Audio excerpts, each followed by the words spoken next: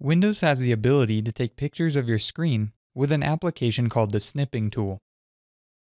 To open this application, go down to Start, then type in Snipping tool, and then hit Enter or click on it. When the tool opens, it will place a gray mask over the entire screen. To take a picture, click and hold then drag a rectangle around the area that you would like to take a picture of. Then let go of the mouse button. The snipping tool will show you a preview of the image. If you are not happy with the image, click the New button and repeat the process. You can also choose the small arrow to the right of the New button to choose how the snipping tool captures the screenshot.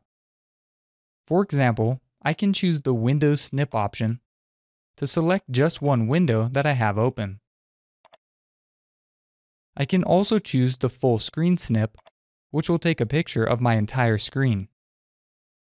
When you are happy with the image, click the save icon, then type in a name for the picture, and then click save.